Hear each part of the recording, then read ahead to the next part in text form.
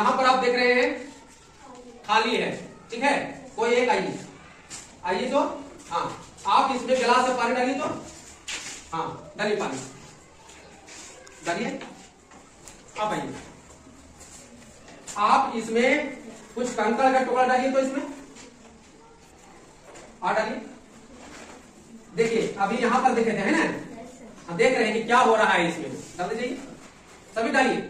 Black board पर यहाँ लिखा हुआ है वॉल्यूम आइकन इसके बारे में आप लोग कोई जानते हैं? बताइए तो। कौन जानते हैं? कोई भी? सिया आप बताइए तो। वॉल्यूम क्या है? कोई?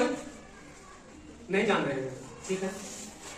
तो आज हम लोग इसी के बारे में कुछ करके देखेंगे। तो हम लोग को समझ में आ जाएगा कि वॉल्यूम क्या होता है? तो सबसे पहले यहाँ टेबल पर क्या क्या देख रहे हैं आप लोग? क्या है? गेंद है। नहीं। यहाँ पर? हाँ। साबुन है। नहीं। यहाँ माचिस का डब्बा है। यहाँ पर? खाली डब्बा है। यहाँ पर देख रहे हैं एक बॉक्स है। नहीं। हाँ। बक्सा की तरह है। और यहाँ पर देख रहे हैं डब्बा है। यहाँ पर देख रहे हैं कि कुछ इसमें हाँ कंकड़ के टुकड़े हैं, है ना? दिखाई दे रहा है ना? चलिए, और यहाँ पर एक देख रहे हैं कि खाली गिलास है ठीक है? अब जानेंगे अब इसके बारे में कुछ करके। तो यहाँ पर आप देख रहे हैं, खाली है। ठीक है? कोई एक आइए। आइए तो हाँ। आप इसमें गिलास से पानी डालिए तो हाँ डालिए पानी। डालिए। क्या आप लोग देख रहे हैं बताइए तो? हाँ। पानी इसमें धीरे धीरे आपने बढ़ रहा है। जब पानी डालते जा रहे हैं बस रुक जाइए।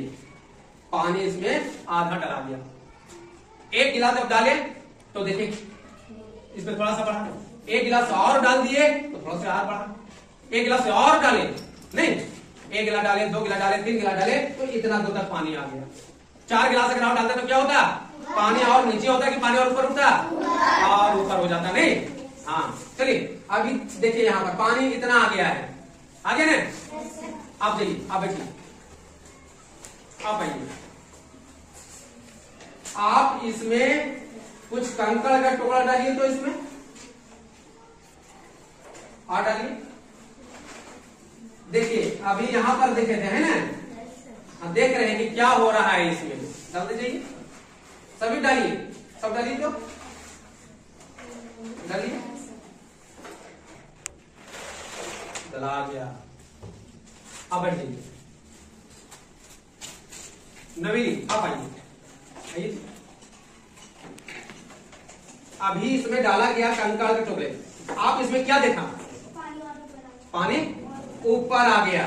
नहीं भाई पानी क्यों ऊपर आया? कंकड़। तो कंकड़ डालने से क्या होगा?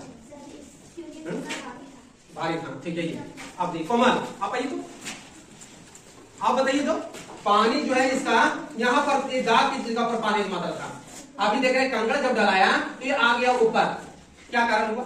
क्यों ऊपर आया? हैं, जब कंकड़ डाले इसमें तो क्या हुआ। ऊपर आ गया। काहे ऊपर आया?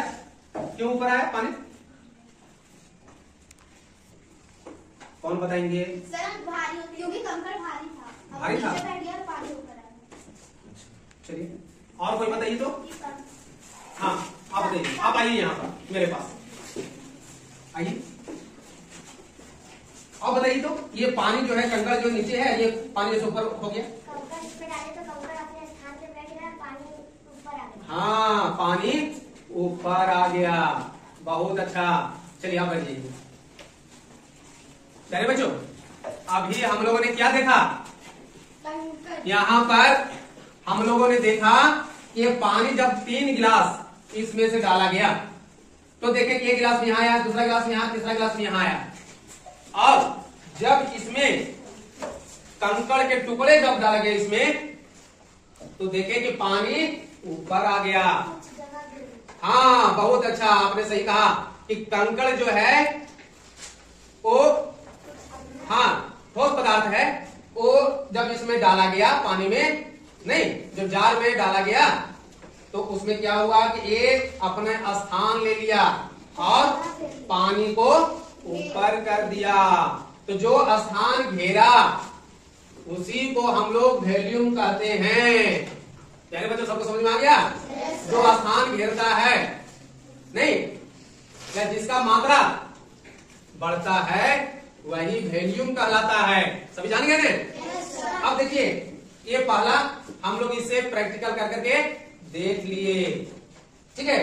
दूसरा देख रहे हैं कि एक खाली है। इसका आयतन कुछ होगा? क्या होगा? अभी इसमें कुछ नहीं है इसलिए आयतन इसका भी कुछ नहीं इसका है। जब इसमें डालेंगे तो अभी इसमें कंगड़ था तो जितना इसमें डाला हुआ था उतना उसका आयतन नहीं। अभी इसमें डाले। अभी यहाँ देख रहे हैं कि ये स्थान घेर रहा है। कहा स्थान घेर रहा है? यहाँ देख रहे हैं? ये स्थान घेर रहा है। नहीं। इसमें देख रहे हैं, इसमें सामान है रखा हुआ। और इसमें भी देख रहे हैं कि इसके अंदर में भी है ये भी स्थान घेर रहा है। यहाँ देख रहे हैं, ये क्या है? बॉल है। और बॉल के अंदर में इसमें डाला गया क्या? वो भी आई स्थान घेरा। नहीं, यहाँ देख रहे हैं, एक, ये है। नहीं। इसका भी ये वैल्यूम बता रहा है। इसका भी वैल्यू बता रहा है। है कि नहीं? कहने के माने है कह सकते हैं कि जिस वस्तु में जो ठोस पदार्थ या द्रव पदार्थ द्रव मन समझते हैं आप लोग? क्या होता है द्रव? द्रव पदार्थ क्या होता है? जो हम लोग उसको गिराएँगे। और बह जाता है। नहीं जो गिराएँगे और बह गया उसी को द्रव बोलते हैं। नहीं द्रव जिसको तरल पदार्थ बोलते हैं। तो उस तरह से क्या हो सकता है? बताइए तो दूध। हाँ ठीक है दूध। पानी। तेल। और? चावल। उधर चावल भी बोल रहा है। चावल बोल रहा है है ना? वो चावल भी आसान घेरता है। नहीं घेरा इसमें अगर कंकड़ की जगह पर हम चावल डाल देंगे तो फिर ये चावल भी आसान घेरेगा ना? इसलिए लकी आपका भी उत्तर सही है।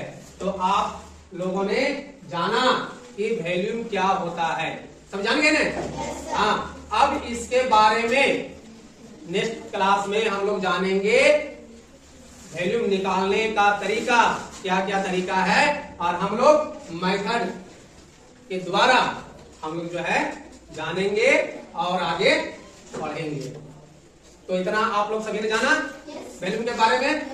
तो जो एक्टिविटीज़ किए वो कैसा लगा? अच्छा। लगा ना? तो हम लोग क्या करेंगे? आगे बढ़ेंगे